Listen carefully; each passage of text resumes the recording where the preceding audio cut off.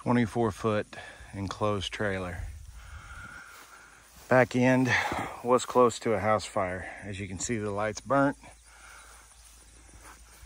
You can see the burnt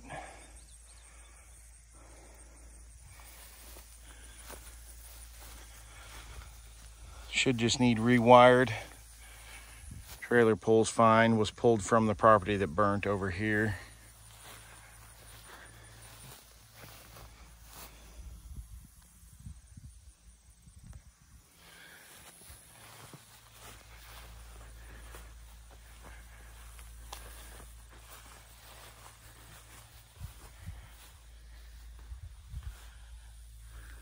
was just the rear that had heat damage.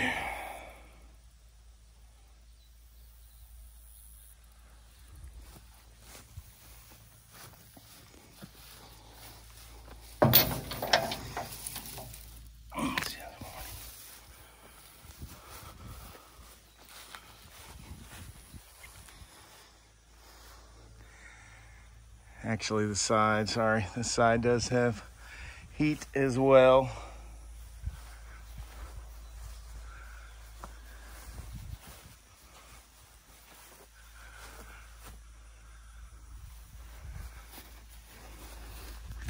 But trailer was used after the fire to store contents for redoing a house.